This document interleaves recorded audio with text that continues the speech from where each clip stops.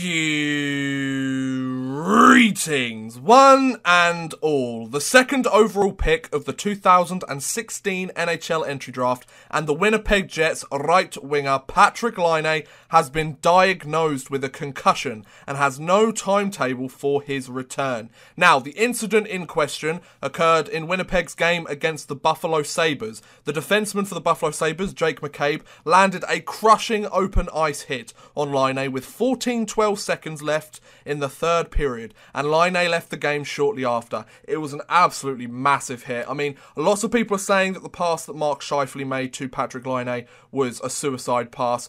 I, I think it was the pass was fine, but it's the it's the fact that the defenseman decided to pinch in. He read the play and he made the hit instead of skating back and pinching back into his zone. That's the big thing that's sort of been up for debate at the moment. Now, Patrik Laine's 37 points, 21 goals, and 16 assists currently lead NHL rookies and ties Mark Scheifele for the team lead in points. Now, if you take a look at the hit here, I'll just show you the, the hit here. I agree that this hit was completely legal. There is no sign of Jake McCabe aiming for Laine's head, and he keeps one skate on the ice when the hit is made. Therefore, it is a legal hit. I, I think, because usually they look for a suspension if a player leaves uh, his foot, his feet come off the ice, or if there's contact for the head. Those are the two sort of main main uh, assets when looking at a hit that could potentially be a suspension that leads to an injury towards another player. Now, I'm glad that there's no talk of a suspension for Jake McCabe. Um, I'm glad that none of that has been suggested, as the hit was clean. It was a clean hit. It was a tough hit. It was a bone crushing hit, but it was a clean hit. Now, if a suspension was on the table, I'm glad it isn't, but if it was, I would think it would pr- further prove how it seems in today's NHL you can't hit without getting some sort of penalty. Whether it's a, a two minute minor penalty in the game, whether it's a fine, whether it's a suspension. Like, lots of people have been saying for years that the NHL is getting softer and softer.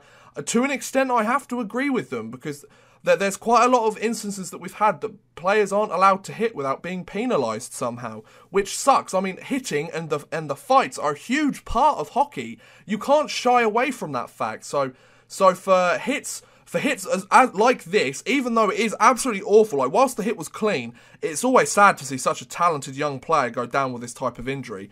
But you've got to keep these sort of hits in the game. They're, they're what make the game exciting. Not the after effect of Laine going out with a concussion, but the actual hit itself. That's exhilarating to watch. And then, of course, there's a massive scrum after the whistle. It adds a different element to the way those two teams play against each other.